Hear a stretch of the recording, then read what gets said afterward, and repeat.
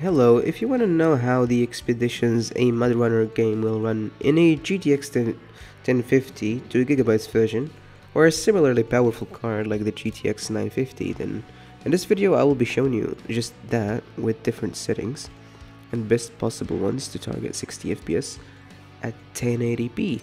While still managing to look good, uh, we will be increasing the textures quality to medium, since it does seem that we have enough room in our VRAM utilization.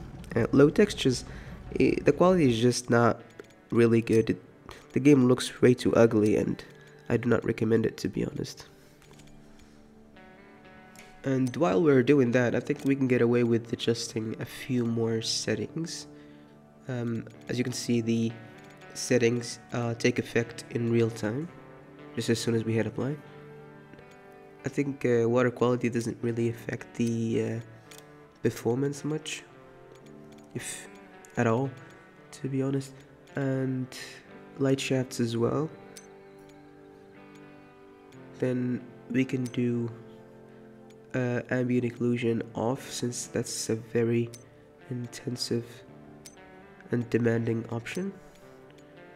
Now for the others we can we let's do medium because I think in this map we can get away with higher quality graphics but I will show you other map as well and in that one there is like too much vegetation and it's very intensive.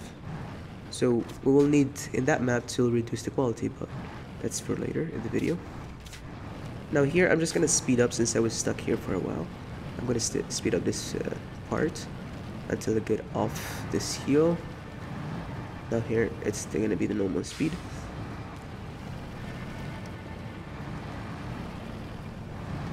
Now in my opinion, this game looks really good even in the lowest settings, except for the textures of course.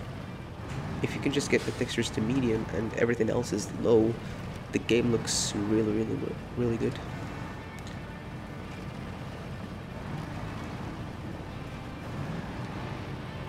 Now, once we reached here, now we're just gonna switch to the other map. Now this is the map that is more intensive. Now in this one we're gonna try different settings.